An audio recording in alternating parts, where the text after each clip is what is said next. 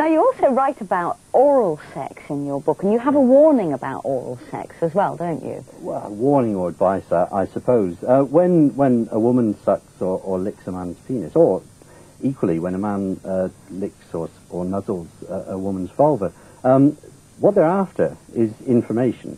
You can tell a lot from the smell and the consistency there about disease and so on, but you can also tell whether that person has recently had sex, because the smell of a woman's uh, vaginal juices stay on the, stay on a penis for hours afterwards. And of course, the smell of another man's semen um, in the vagina also stays there for a while. So um, if you're checking up on your partner, uh, any strange smells around their genitals could perhaps alert you that uh, they've been unfaithful recently.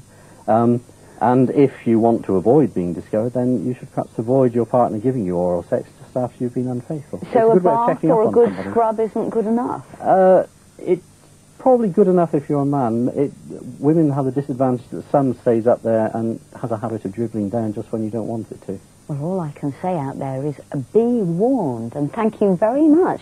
And thank